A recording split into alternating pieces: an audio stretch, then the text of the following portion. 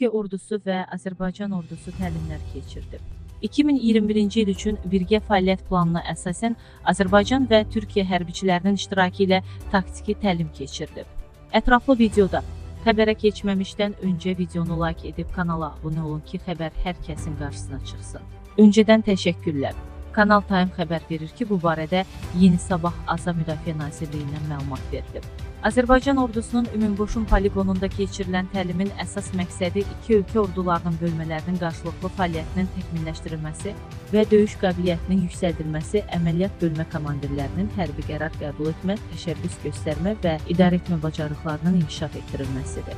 Təlim zamanı xüsusi qruplar sutkanın müxtəlif vaxtlarında gizli yollarla şərqli düşmənin müdafiəsinin dərinliyinə sızmaq, komanda məntəqəsi və hərbi təyinatlı obyektləri ələ keçirmək üzrə tapşırıqları yerinə gətirib.